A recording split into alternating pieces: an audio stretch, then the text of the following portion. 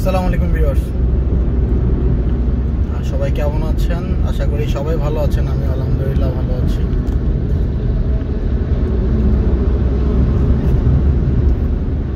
আমি আসলে কনফিউশনে আছি যে আপনারা অনেকেই মিটার সহ ভিডিও চান, আবার অনেকেই বলেন যে না, সামনে থেকেই ঠিক আছে। আমি আসলে সত্যি কথা বলতে একটা বিপদে আছি। ভিডিও তো করি আপনাদের জন্য। তো আপনাদের যেভাবে কমফোর্টেবল ফিল হয়, আমি সেভাবেই ভিডিও করতে আমি মানে স্বাচ্ছন্দ্য বোধ করি। আপনাদের জন্যই যেহেতু ভিডিও তো আপনারা যেভাবে স্বাচ্ছন্দ্য বোধ করেন, আমি ওইভাবে ভিডিও করতে চাই। তো আমাকে একটু কাইন্ডলি একটু জানাবেন আপনারা যে কোন পজিশনটা এই পজিশনটা ভালো লাগে নাকি লাইক পেছন থেকে যেটা করি মিটার সহ? বাট মাঝখানে হচ্ছে আমার সাইড ওয়াল যে গাড়ির যে পিলারটা ওইটা চলে আসে। ডান সাইডে লুকিং গ্লাস সহ আসে। ওইটা করব নাকি জাস্ট ফ্রন্ট ভিউটা করব? এটা একটু আমাকে জানাবেন আপনারা সবাই কমেন্টসের মাধ্যমে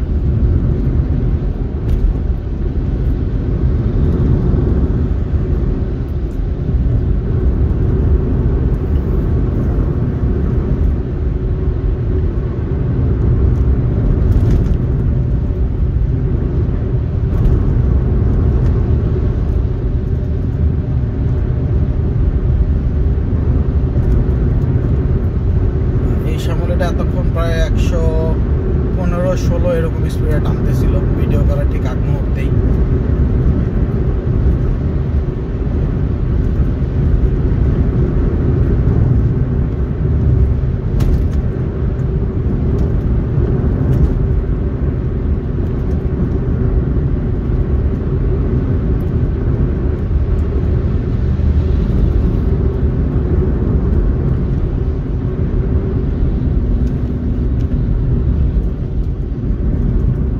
যে পিছনে একটা হাইস আছে আহ, পুরা একদম হাই বিম দিয়ে রাখছে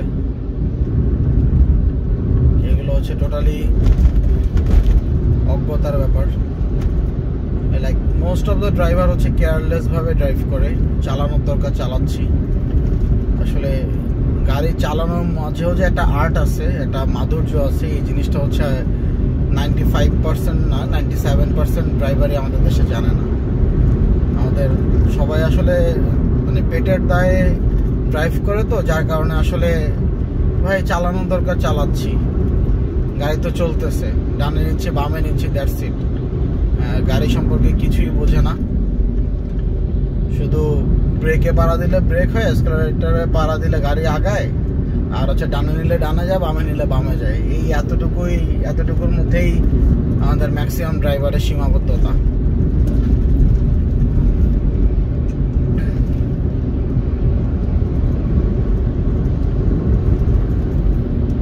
এই জিনিসগুলো আসলে জানা উচিত। এই যেমন পিছনে যে হায়েস্টটা হাই বিম দিয়ে রাখছে এটা টোটালি সামনে যতগুলা গাড়ি আছে, প্রত্যেকটা গাড়ির ক্ষতি করতেছে, প্রত্যেকটা গাড়ির প্রবলেম করতেছে। এক লুকিং গ্লাসে বাড়ি খেয়ে হচ্ছে আমার প্রবলেম করতেছে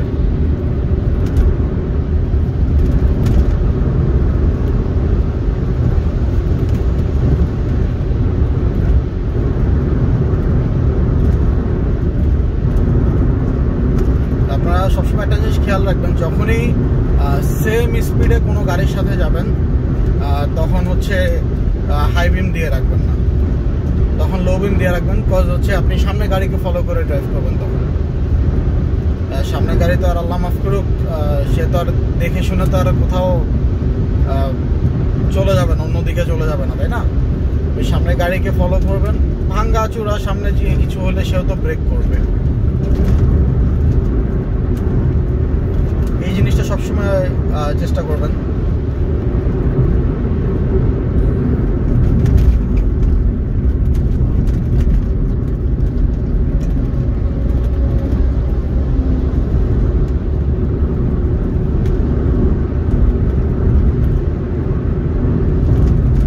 যে আপনার সামনে কিছু নাই দেন আপনি এখন হাই বিম দিয়ে রাখেন নো প্রবলেম বাট যখনই আপনার সামনে কিছু আসবে আপনি রানিংয়ে যাচ্ছেন কাউকে ওভারটেক করে যাচ্ছেন, কোনো প্রবলেম নেই।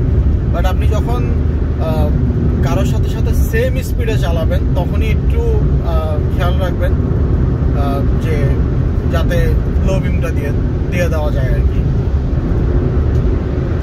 আপনি সেম সেম স্পিডে যখন যাবেন, তখন হচ্ছে ওই গাড়ির পুরো একদম লুকিং গ্লাসে আলোটা লাগে। আর তখন হচ্ছে সামনে ড্রাইভারের অনেক প্রবলেম চোখে হেডলাইটটা গিয়ে লাগে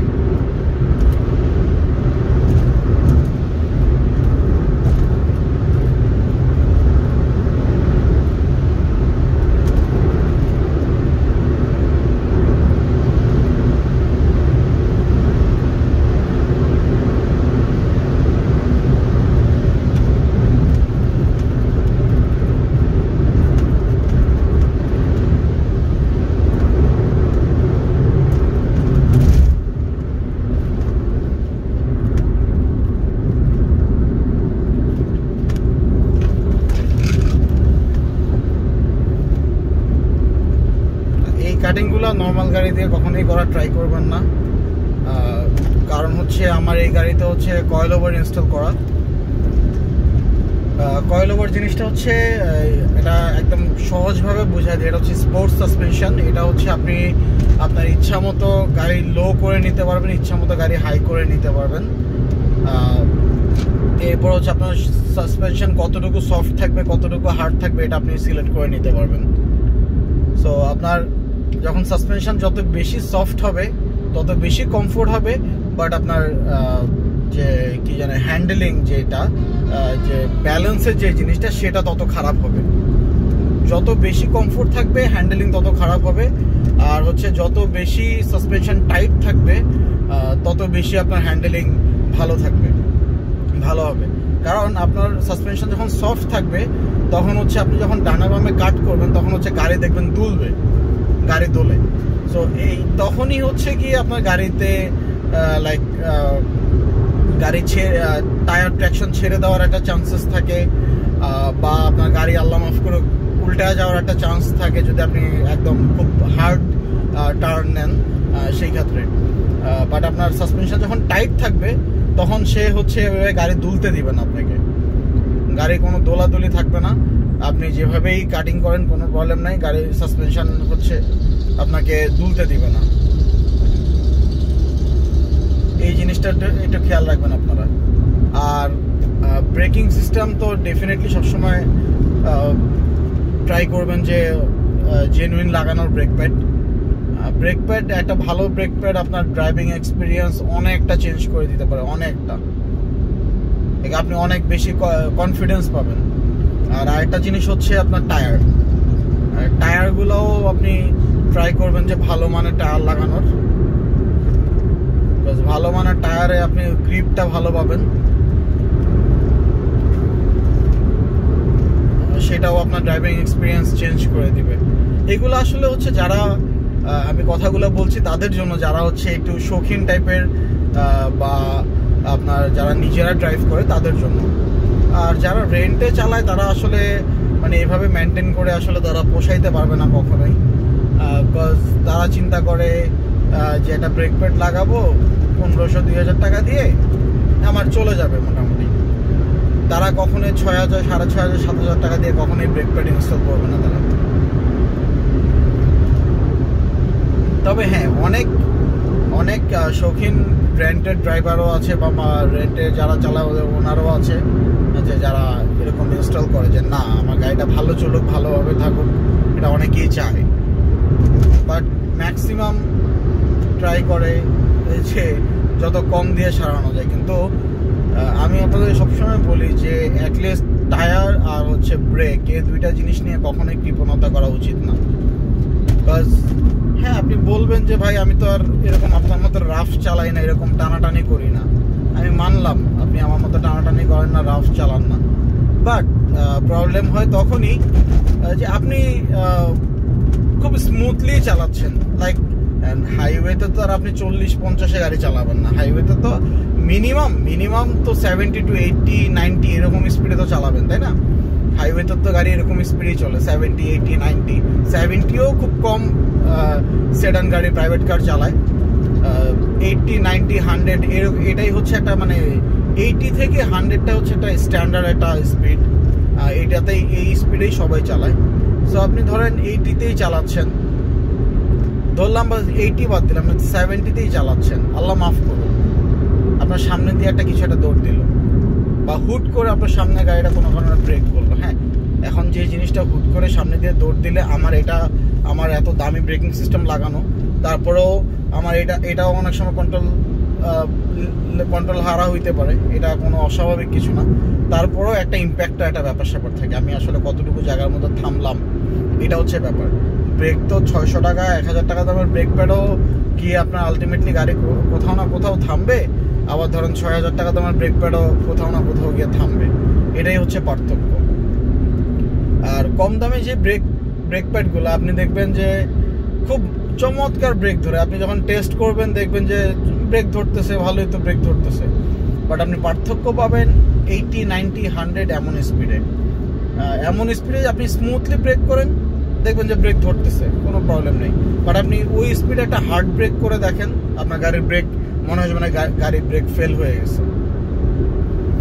এরকম আমার আমার নিজেরই একটা অভিজ্ঞতা আছে। আমার এটা হচ্ছে টু থাউজেন্ড টেনের কাহিনী। টু থাউজেন্ড টেন ওর ইলেভেনের দিকে। না, এগারো এগারো, বারো হবে। এগারো, বারো একটা কাহিনী আছে আমার। সেটা হচ্ছে আমি, আল্লাহ মাফ করুক, সবসময় চেষ্টা করছি যে গাড়িতে সবসময় জেনুইন পার্টস লাগানো সব কিছু তো আমার তখন একটা পুরান মডেল দু চার মডেলের একটা এলিয়ন ছিল। ওই গাড়িটা হচ্ছে আপনার তখন আব্বু ছিল। আব্বু ড্রাইভারকে দিয়ে পাঠাইছে ব্রেক প্যাড চেঞ্জ করার জন্য। ড্রাইভার ব্রেক প্যাড চেঞ্জ করে নিয়ে আসছে। মনে হয় আঠারোশো টাকা নিয়েছিল ওনার ব্রেক প্যাড তো আমি তো জানি যে আমি আমি কোন ব্রেক প্যাড আর ওই দিন যে গাড়ির ব্রেক প্যাড চেঞ্জ করা হয়েছিল, আমি আসলে জানি না ব্যাপারটা। আমি জানতাম না যে সেদিন যে গাড়ির যে ব্রেক প্যাড যে চেঞ্জ করা হয়েছিল। তা আমি থার্সডে নাইটে গাড়ি নিয়ে বেরিয়েছি, টানাটানি করতেছি। এক পর্যায়ে রেজেন্সি ঢাকা রেজেন্সি হোটেলটা যে এয়ারপোর্ট রোডের সামনে। রেজেন্সির সামনে আমার গাড়ির speed one seventy seventy five এরকম। আমি টানতেছি টানতেছি। আপনার হঠাৎ করে একটা ট্রাক, এয়ারপোর্ট তো চার লেনের। সে একদম ফার্স্ট লেনে ছিল। একদম ডান সাইডের লেনে ছিল। ডান সাইডের লেন থেকে সে আস্তে আস্তে আস্তে আস্তে বামের লেনে চাপতেছি, সে বামে দাঁড়াবে। আমি দিলাম ব্রেক ব্রেক দেওয়ার পরে ব্রেক প্যাডেলের উপরে আমি লিটারেলি দাঁড়ায় গেছি। দুই, তিনবার, চারবার পাম্প করে আমি লিটারেলি ব্রেক প্যাডেলের প্যাডেলের উপর দাঁড়ায় গেছি। আমার ব্রেকের কোনো খোঁজ খবর নাই। লাইক আমার কাছে মনে হচ্ছিল যে আমি নেমে গিয়ে মানে চাকার মধ্যে আমি দাঁত দিয়ে কামড়ায় ধরি মানে আরও জোরে ব্রেক ধরবে মানে এমন একটা মানে ব্যাপার হয়েছে আর কি। জিনিসটা মনে করে আমার শরীর পুরো একদম গিজ গিজ করে উঠছে। তো এইটা হচ্ছে কাহিনী। পরে আমি মানে কোনো মতে গাড়ি থামাইছি, তবে আমার গাড়ির দুই সাইডের লুকিং গ্লাস নাই হয়ে গেছিল। এছাড়া আল্লাহ মাফ করুক, কিছুই হয় নাই। লাইক বাম সাইডে একটা ট্রাক দাঁড়ানো ছিল, ডান সাইডে ট্রাক চাপাইতে চাপাইতে আমাকে বাম সাইড নিয়ে আসছে। গাড়ির স্পিড ব্রেক করে আনতে আনতে আনতে আনতে গাড়ির স্পিড কত? ওয়ান থার্টির মতো ছিল তখন। দুইটার গ্যাপ দিয়ে যখন গ্যাপিংটা নিছি একটার পেছনে আমার লুকিং গ্লাস বাম সাইডের লুকিং গ্লাস বাড়িয়ে গেছে আর একটার সামনের বাম্পারে আমার ডান সাইডের লুকিং গ্লাস বাড়িয়ে গিয়েছে। লাইক এমন একটা সিচুয়েশন দিয়ে গাড়ি নিয়ে বেরিয়েছি লাইক আমার ড্রাইভার সে কলমা পড়ে ফেলছে, যে এই মনে হয় শেষ ড্রাইভার সাথে ছিল। এই হচ্ছে কাহিনী আর কি। লাইক এই জন্যই মানে সবসময় ট্রাই করি যে জেনুইন ব্রেক প্যাড ইউজ করার। এই যে আমার সামনে একটু আগে একটা এক্সিও আপনার সামনে একটা ট্রাক্টর, সে হুট করে রাস্তার মাঝখানে ঢুকায় দিয়েছে। সামনের বাস ব্রেক করছে। আমি জাস্ট ওর দিকে তাকায় আছি। আমি অনেক দূরে ছিলাম। অনেক দূর থেকে জাস্ট ফলো করলাম যে এক্সিওটা গাড়ি থামাইতে ওর পুরো যান বের হয়ে গেছে, যান বের হয়ে গেছে। অরেলস গাড়ির স্পিড কিন্তু খুব বেশি ছিল না। গাড়ির স্পিড মনে হয় কত? ষাটের মতো ছিল, পঞ্চাশ ষাট এরকম ছিল।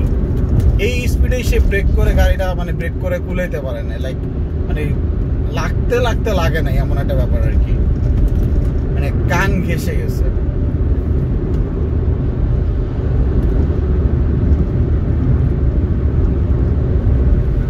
এই জিনিসটাই সবাইকে আমি বলি, বলার চেষ্টা করি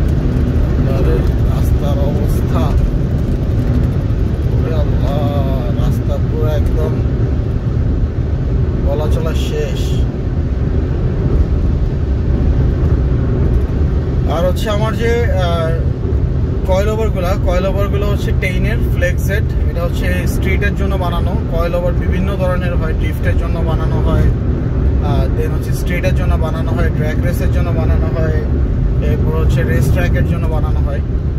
সো আমার এটা হচ্ছে স্ট্রিট বেস টেন ফ্লেক্সেট এটা হচ্ছে আমি একদম মানে মোটামুটি মিডিয়াম করে রাখছি, একদম হার্ডও না, একদম সফটও না। হার্ড করলে দেখলাম যে একদমই হার্ড হয়ে যায়, আর সফট করলে লাইক শক অ্যাবজর্ভারের চেয়েও বেশি সফট মানে এত কমফোর্ট যেটা কিনা বলার বাহিরে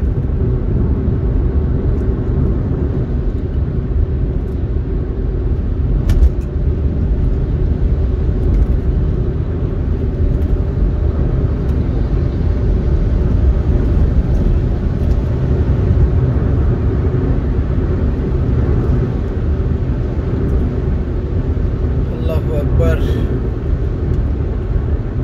কোন দিকে যাবে ভাই ডানের থেকে বামে চাপলো বামের থেকে ডানে আবার বামে আবার ডানে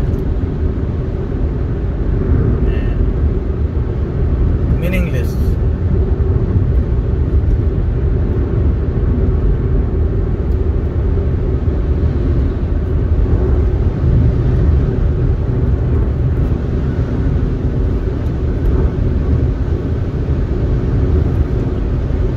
আর আমার এই হেডলাইটটা যদি কেউ নিতে চান তাহলে হচ্ছে ফেসবুক পেজ জেডিএম লাইটিং ওখানে কন্ট্যাক্ট করবেন J D M lighting Facebook page ওখানে কন্ট্যাক্ট করবেন, এটা আমারই পেজ আপনারা ওখানে গেলে গাড়ির হেডলাইটের হিউজ ভিডিও পাবেন।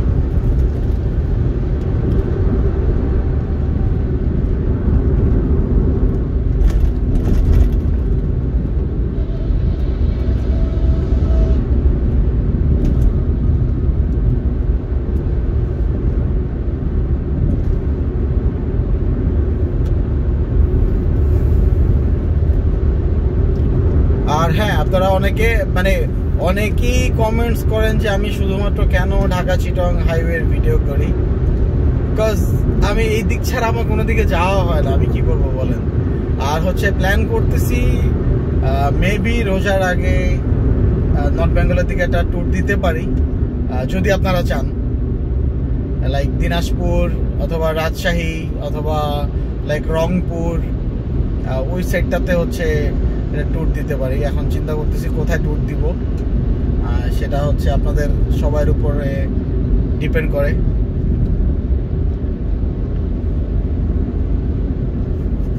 আমার মনে হয় দিনাজপুর যাওয়া যায়। দিনাজপুর, আমার একটা ফ্রেন্ডেরও বাড়ি আছে, ওখান থেকে ঘুরে আসা যাবে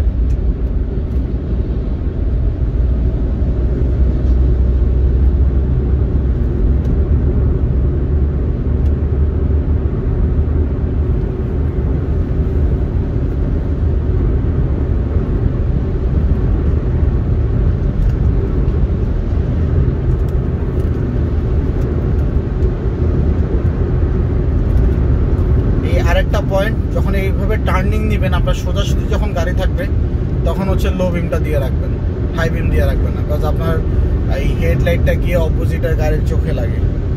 তো এই জিনিসটা একটু কেয়ারফুল থাকবেন সবাই।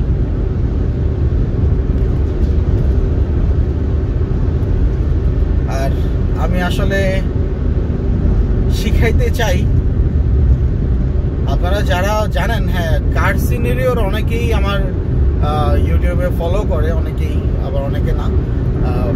তাদের কাছে হয়তো জিনিসটা ফানি মনে হইতে পারে যে হ্যাঁ এগুলো কী ধরনের নলেজ দেয়? এগুলো তো জেনারেল নলেজ আমরা যারা জানি, তাদের জন্য এটা জেনারেল নলেজ বাট যারা জানে না, তাদের জন্য এটা অনেক বড় একটা কিছু। তো আমি অনেক বেশি জানি না বা যতটুকু জানি, ততটুকু হচ্ছে হচ্ছে সবার সাথে একটু শেয়ার করতে চাই।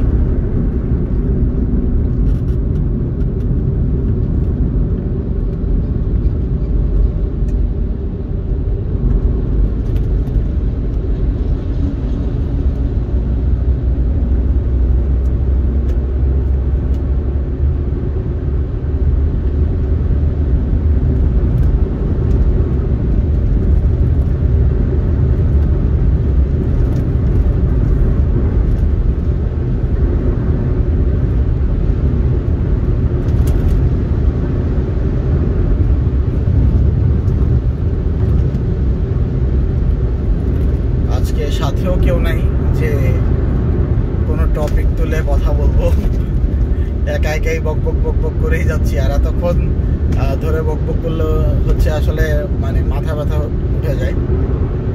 তো এই জন্যই হচ্ছে একটু বক চুপ থাকি। আর আপনারা শুধু কমেন্টস করেন যে, আমি কোনো ভিডিওতে কথা না বললেই আপনারা কমেন্টস করা শুরু করে দেন যে, রাতুল ভাই কথা বলেন না কেন? কথা বলেন না কেন? আমার আমার ভয়েস ছাড়া নাকি আপনাদের ভিডিও ভালো লাগে না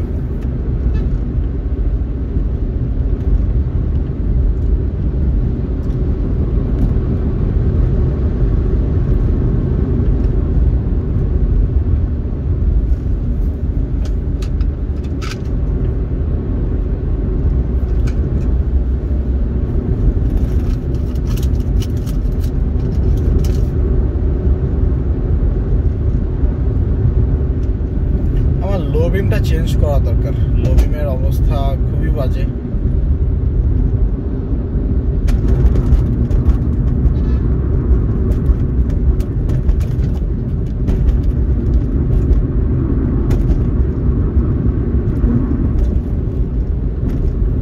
আমার মোটামুটি যতটুকু কাভার করে আমার ফগ লাইটই কাভার করে।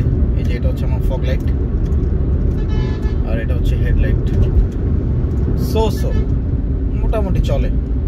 খারাপ না। মোটামুটি ন্যাচুয়ালি আমার লোভিংটা ঠিকই আছে। ভালোই আছে। এটা হচ্ছে আপনার আমার হাই বিম এবং ফগ লাইট বেশি পাওয়ারফুল হওয়াতে আসলে এটা এখন আর চোখে লাগে না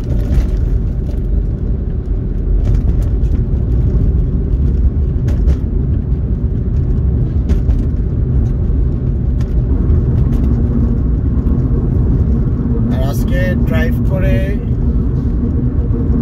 আসলে অনেক মজা পাচ্ছি কারণ হচ্ছে গত গতকালকে সরি পরশু দিন পরশু দিন গাড়ির আমার মাউন্ট চেঞ্জ করেছি ইঞ্জিন মাউন্ট গিয়ারবক্স মাউন্ট এগুলো চেঞ্জ করেছি, তিনটা চেঞ্জ করেছি মেইন মাউন্ট তিনটা চেঞ্জ করছি, তিনটা আমার খরচ আসছে সব কিছু মিলা সার্ভিস চার্জটা সহ বিয়াল্লিশ হাজার কত জন?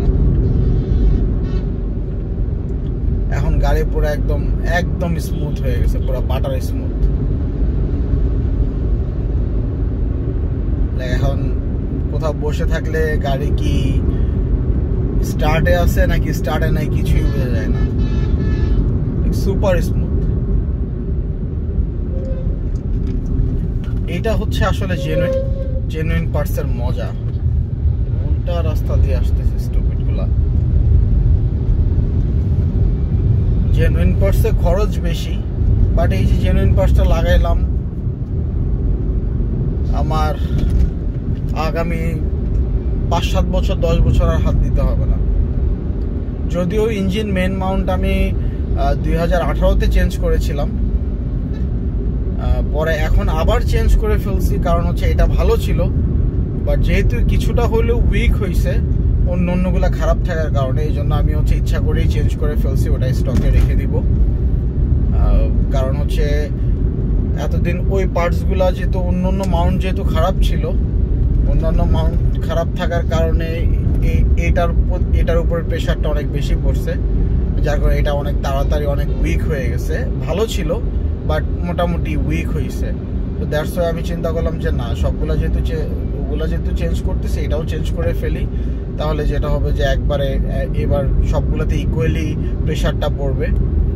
দেখা যাবে যে পাঁচ সাত বছর পরে আবার গিয়ে চেঞ্জ করতে হবে আর কি। আর যদি রিকন্ডিশন বা ধরেন লোকাল মার্কেট থেকে লাগাতাম, তাহলে হয়তো এক দুই বছর পরে আবার চেঞ্জ করতে হবে, এক দুই বছর, এক দুই বছরও ভালো চলবে না, এটা হচ্ছে কথা। একদিনও ভালো চলবে না লোকাল মার্কেট থেকে আমি আজ পর্যন্ত যা কিনছি এই গাড়ির, সব আমাকে আবার রিপ্লেস করতে এসে তো এই জন্য হচ্ছে এই যে আমার এই মাউন্ট চেঞ্জ আমি গত অলমোস্ট এক বছর ধরে চেঞ্জ করব করব করব করব করতেছিলাম না। লোকাল মার্কেট থেকে করলে আমি ধরেন যে চা তিনটাই আমি ধরেন কত? পনেরো থেকে আঠারো হাজার টাকার মধ্যে করে ফেলতে পারতাম। বাট আমি করি না আমি আট, নয় মাস ওয়েট করছি। আমি আট, নয় মাস প্যারা নিছি যে না, আমি দরকার হলে ছয় মাস পরে, এক বছর পরে লাগাবো। বাট আমি যেটা লাগাবো, ভালো জিনিস লাগাবো। এ যার ফলে এখন এখন আমি মজাটা পাচ্ছি গাড়ির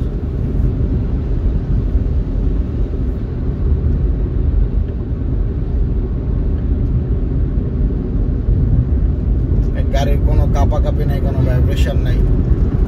আর আমার এই স্পেসিফিক আমার এই মডেলের হন্ডা সিভিক এফডি ট্যুর মাউন্টগুলো আসা হচ্ছে অয়েল টাইপ এগুলোর অন্যান্য গাড়ি যেমন মাউন্ট থাকে, হচ্ছে আপনার ডিরেক্ট রাবারের এটা রাবার রাবার তো থাকেই উপরে বাট ভিতরে হচ্ছে অয়েল থাকে। লাইক ইঞ্জিন অয়েলের মধ্যে একটা অয়েল থাকে, খুব ঠিক একটা অয়েল থাকে গ্রিজের মতো। ওইটা হচ্ছে ইঞ্জিনটাকে আরও বেশি স্মুথ রাখে আর কি। ইঞ্জিনটাকে না অ্যাকচুয়ালি গাড়ির বডিটাকে অনেক বেশি স্মুথ রাখে। ইঞ্জিনে কোনো ধরনের কোনো ভাইব্রেশন গাড়ির বডিতে আসতে দেয় না।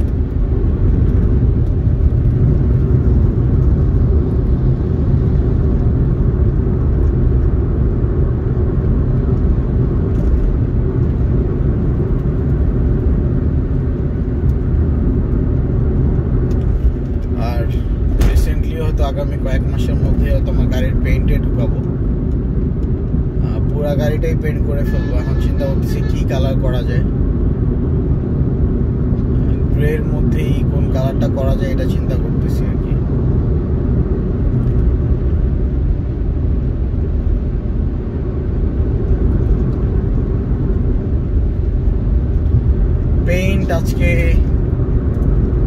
পেইন্টও আজকে প্রায় এক দেড় বছর, দেড় দুই বছর ধরে ঘুরতেছি, গাড়ি পেইন্ট করব করব। পেইন্ট করার বাজেট আসলে বের করতে পারতেছি না দ্যাটস ওয়াই আসলে পেইন্ট করা হচ্ছে না।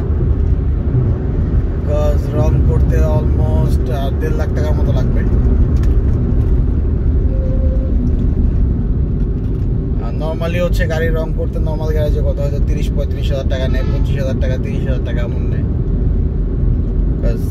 আমি তো একটু ডিফারেন্ট লাইক আমার কথা হচ্ছে এই যে দুই বছর ধরে ওয়েট করতেছি পেন্ট করার জন্য। একটু একটু করে টাকা জমাচ্ছি পেইন্ট করব। দেড় লাখ টাকা নর্মাল বেসিক রং করাইলে হয়তো এক লাখ তিরিশ থেকে দেড় লাখ টাকা লাগবে। আর যদি এক্সটিক কোনো কালার করাই, সেই ক্ষেত্রে হয়তো আরও বেশি লাগতে পারে। সেই ক্ষেত্রে হয়তো এক লাখ সত্তর আশি, এরকম লেগে যেতে পারে। চিন্তা করতেছি হয়তো বা হয়তো বা এক্সটিক কোনো কালারই করব। তো আনকমন ডিফারেন্ট কোনো কালার করব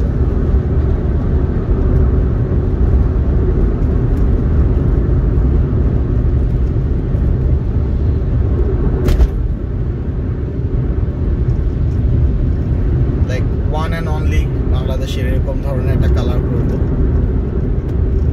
আমার অনেক দিনের ইচ্ছা, তবে হ্যাঁ ওই কালারটা আমার অনেক দিনের ইচ্ছা যে এই কালারটা সেই কালারটা আমি করব যদি কিনা আমি সেকেন্ডারি আমার আরেকটা গাড়ি নিতে পারি। আরেকটা গাড়ি যদি কিনতে পারি ডেলি ড্রাইভ করার জন্য। ছোটোখাটো আমি চাচ্ছি যে একটা সুইফট নেওয়ার। সুইফট অথবা লাইক একটু পুরাতন লাইক চার পাঁচ লাখ টাকা, ছয় লাখ টাকার মধ্যে একটা সুন্দর একটা গাড়ি আর অথবা হয়তো স্টারলেট জিটি যদি পেয়ে যাই ভালো ফ্রেশ স্টারলেট জিটিও নিতে পারি। তাও সেটা আরও হয়তো ছয় মাস লেগে যাবে হয়তো বা এটাকে পুরা দমে রেডি করব, এটাকে আপনারা তখন খুবই কম দেখবেন যদি কিনা সেকেন্ডের আরেকটা গাড়ি নেই, আবার ডেলি ড্রাইভের জন্য।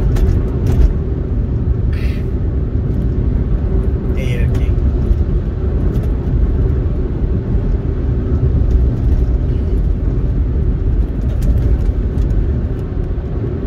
ডেলি ড্রাইভের জন্য গাড়ি খুঁজতেছি আস্তে আস্তে লাইক প্ল্যানিং করতেছি কি গাড়ি নেওয়া যায়, কি গাড়ি নেওয়া যায়। প্ল্যানিং এর মাঝে আছি। দেখা যাক। যদিও এখনও বাসায় জানাই নেই ওরকম কিছু। বজ হচ্ছে এই গাড়ির পার্টস মোটামুটি ভালো এক্সপেন্সিভ তো আমি চাই না যে এটা নিয়ে ডেলি ড্রাইভ এটাকে আরও অনেক বেশি সুন্দর করে, আরও অনেক বেশি স্মার্ট করে দেন রেখে দিব টুকটাক, মাঝে মাঝে নিয়ে বেরোবো, একটু ঘুরবো, ফিরবো, এরকম আর কি। মাঝে মাঝে একটু টানাটানি করব, এটার জন্য হচ্ছে এটা রেখে দিব কি তখন।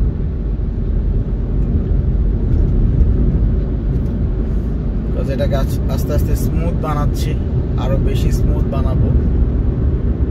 আর হচ্ছে এটা যে সামনে যে গ্লাসটা যে ফাটা গ্লাস ফাটছে আজকে প্রায় এক বছরের উপরে হয়ে গেছে, আমি গ্লাস চেঞ্জ করতেছি না। কারণ গ্লাস বাংলাদেশে নাই, আনাইতে হবে। আর যেগুলো আছে, ওগুলা হচ্ছে আপনার চাইনিজগুলা চাইনিজগুলো হচ্ছে কত? বারো বারো থেকে পনেরো হাজার টাকা হয়তো নিবে। হয়তো না, আমি কথা বলেছিলাম, বলল যে চোদ্দ, পনেরো হাজার টাকার মতো। আমি ফাইনাল কোনো কথা বলিনি। তো হয়তো ইয়ে করলে হয়তো একটা নেগোসিয়েশনে আসবে ওরা। তো ওই গ্লাসটা আমি আসলে লাগাতে যাচ্ছি না। আর হন্ডার যে অথরাইজ ডিলার যারা, ওরা গ্লাসের দাম চাইছে হচ্ছে মাত্র মাত্র অনেক কম অনেক কম দাম। আপনারা গেস করেন তো, কত হইতে পারে গ্লাসের দাম? দেখি কমেন্টস করেন, আমি একটু ওয়েট করতেছি। গ্লাসের দাম কত হতে পারে একটু কমেন্টসে জানান।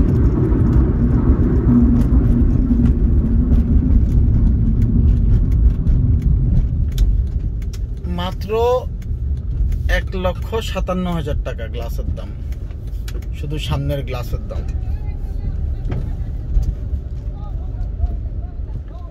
অরিজিনাল গ্লাসের দাম মাত্র এক লক্ষ সাতান্ন হাজার টাকা হন্ডা মোটরসে ডিএইচএস মোটরস যেটা হন্ডার অথরাইজ ডিলার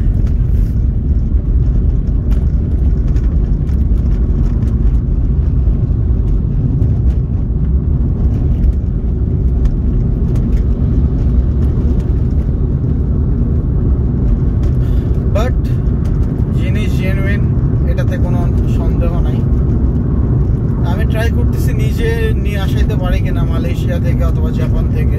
তো জাপান থেকে আমার যে কন্টেনারগুলো আসে ওগুলোতে তো সব লোহার জিনিসপত্র আসে, তো গ্লাস আনাটা অনেক রিস্ক হয়ে যায়। এই জন্য আসলে একটু টেনশনে আছে যে কিনে কি আনব কিনা। আবার যদি ধরেন যে আমি রিকন্ডিশন আনতে যাই। রিকন্ডিশন আনতে গেলে আমাকে পুরো আস্ত একটা গাড়ি কিনতে হবে। যদিও আস্ত গাড়ি কিনলে আমার টুকটাক আরও কিছু জিনিস লাগবে। আমার রেইন শেল্ড লাগবে এরপরে গ্লাসের সাইডে যে রাবার পিটগুলো থাকে রাবার পিটগুলো লাগবে। আরও টুকটাক কিছু জিনিসপত্র লাগবে। যাই হোক ভিডিও মানে অনেক বেশি লং হয়ে যাচ্ছে। অনেক বেশি অনেক বেশি লং হয়ে গেছে। তো সবাই থেকে বিদায় নেই। আল্লাহ হাফেজ সবাই ভালো থাকবেন। আসসালামু আলাইকুম।